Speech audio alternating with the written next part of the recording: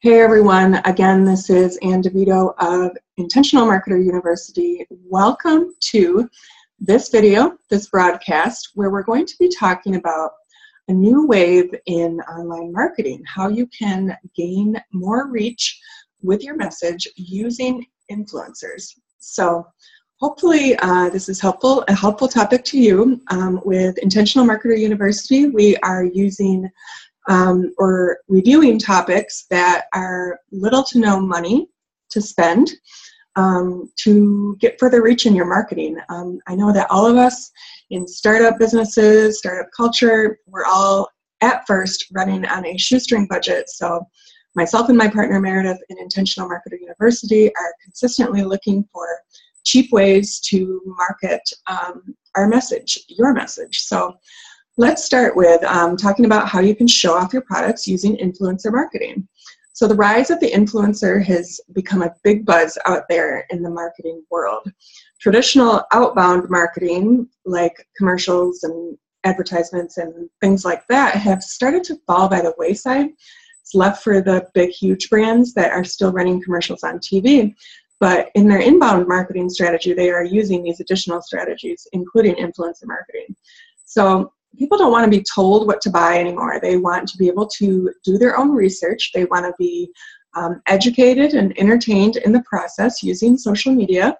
And um, from there, they want to be recommended products by people who have used them before. So, you know, the dawn of Amazon, Amazon reviews, they are um, you know, looking at reviews online on Amazon for their products, and they're also reaching out to their friends, um, whether it be in person or on social media, to give them recommendations for their products or for the product that they're looking at. So the good news is, is that it's quickly becoming one of the most effective ways to attract customers and clients. And the great news is anyone with a business or a product can leverage influencer marketing in some capacity. So you can do this for free all you need to do is ask, and you don't need a big budget for it. So um, today's consumer trusts the recommendations from a third party more than they ever have, and especially more than they trust from the brand itself. Doesn't that make sense?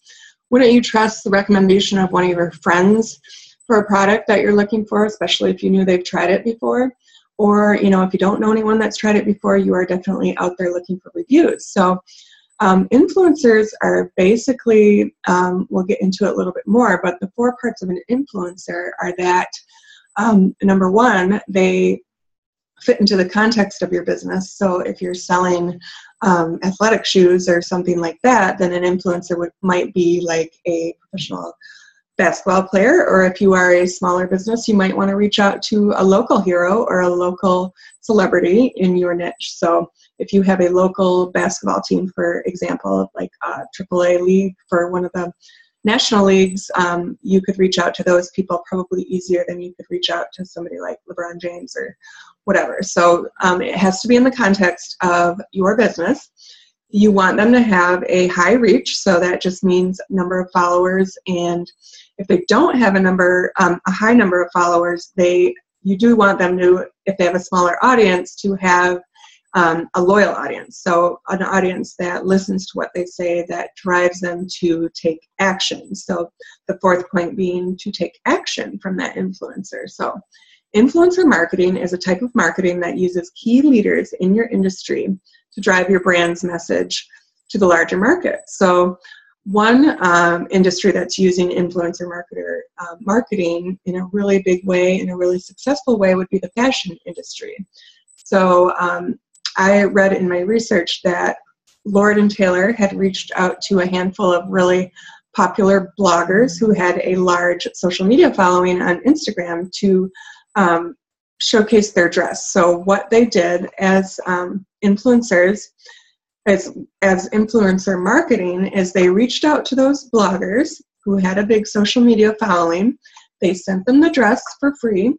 They asked them to try it on and review it on their blog and on their social media channel, pointing to their blog post probably. And um, that weekend, the dress sold out. So basically, that would be um, the perfect storm of influencer marketing campaign is that you give it out to some big names in your industry and they show it off for you. and they sell out your product that weekend. So that would be obviously the best case scenario. So again, we talked about the four components of influencer marketing or an influencer in your industry. And so number one, the context when your influencer is existing in the proper context, your campaign is more meaningful. So every influencer um, for each industry is can be different, and we're not talking about celebrities. We're talking about people that are on YouTube, they're on Instagram, they have hundreds of thousands of followers, or even tens of thousands of followers, but they have a loyal following that they can make recommendations to people on products. And they have a large following, they can drive their following to take action, and they have a loyal following. So, how do you find these influencers? Now that you've defined who you should reach out to, and maybe you've made a list of accounts, or you need to make a list of accounts for influencers, how do you find them? So, a free way that you can find them without any tools is to monitor social media. So, obviously, the most cost effective way, it's free. You can get out on Facebook or Twitter. And how you can do that is going out and researching popular hashtags. So, you can research a popular hashtag in your industry, see who's tweeting about it, who's posting on Facebook about it, and uh, start to make a list and write down people that could conceivably be interested in trying out your product, reviewing it. Um, are they reachable? Are they somebody that you could possibly get in contact with? Check out their contact pages. Many of them will say, Do you want to collaborate or something like that? And take it from there. And then also, what I have done is on Twitter, you can create a list based on a hashtag. So if you look on Twitter for one of your popular hashtags, you can create a list and then you can use IFTTT to automatically add users who post using your hashtag to a list. You can make that list public for everyone to see, or you can make that private for your own personal research. So, um, for influencer marketing, I could use the hashtag influencer marketing and I could create a list using, or I have created a list using IFTTT and then I can start re- reaching out to people in my industry to possibly share my insights or share my articles, do a blog collaboration. Um, any of those things are considered influencer marketing. So, Google Alerts, you can type in your relevant keywords on Google Alerts and identify articles in your niche and then contact them there from their blog and then another site called Social Mention, where you can identify people who have already called out your website and see who has shared things for you and who has spread the love and reach out to them that way. There are other tools out there you can use for influencer marketing, and I have noted them on the latest blog post, goimu.com. But I've listed three of them there, and one is Carrot FM. It's for people to tap into the wealth of knowledge out there from influencers. Add your name to the database or contact people from the database to answer your questions. The IFDB, the Internet Famous Database, is a platform for influencer brands for influencer profiles for brands. Brands and brands representatives use IFDB to search, qualify, and connect influencers and creators to help achieve their marketing objectives. And then finally, TapInfluence. If you have a larger brand and a larger budget, it might be for you. Centralizes influencer marketing with a single um, software of service software program. So if you have the money to invest in actual software, we'll provide data and insights for you. And then um, another type of influencer marketing that you can do where you would need tools to, um, you don't need them, but you would want some tools to find appropriate blogs is blogger in, in uh, blogger outreach. More than half of the influencers run some sort of blog.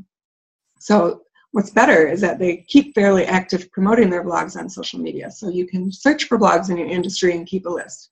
And then there's a few tools out there that will help you with that one called Inkybee and another one called Blogdash. I've linked to all of these tools on our latest blog article on goimu.com. So check it out. so let's say you've made a connection with an influencer. Where it makes sense, ask your customers and um, the influencer to upload videos and photos of themselves using your product. Um, promise it to share it out to their followers and share it out to your followers because in turn It'll be a win-win situation. You will be providing attention to both yourself and your influencer. So um, a great example of testimonials used on the website and Instagram would be Kayla uh, Itsines. She's a um, fitness guru from Australia who has a big bikini body ebook. So people are sharing their results and um, posting them on social media for her. You can use giveaways or discounts to incentivize you and share your results or happiness with your product or service. And then, of course, you can offer to swap guest posts.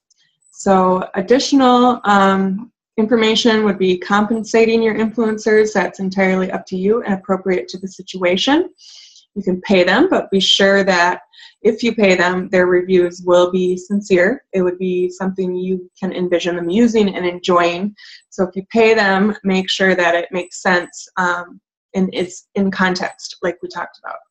Or you can uh, use sharing. Sharing is caring. If your influencer writes a post or review about you, be sure to share your content across the networks. Like I just mentioned, they love the attention. You'll get the attention. They will get the attention. And the reach can be exponential in that regard.